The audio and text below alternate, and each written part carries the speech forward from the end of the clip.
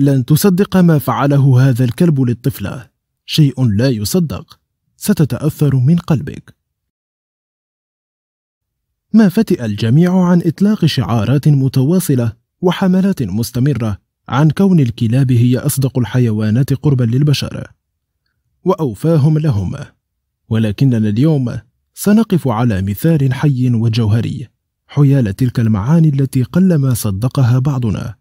وشعروا بقيمتها ما لم يلمسوا أو يستشعروا مواقف جادة تؤكد هذه العلاقة الوطيدة التي تكون في أغلب الأوقات دون مقابل يذكر.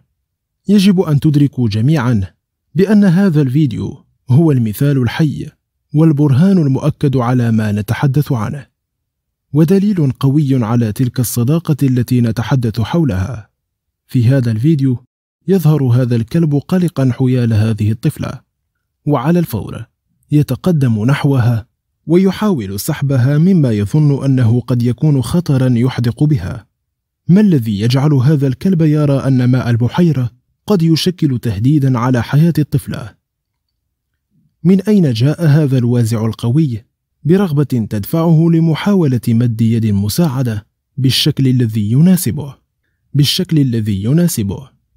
يقوم الكلب بجذب الفتاة من فستانها حرصا على ألا تنزلق أو تجرها المياه بعيدا.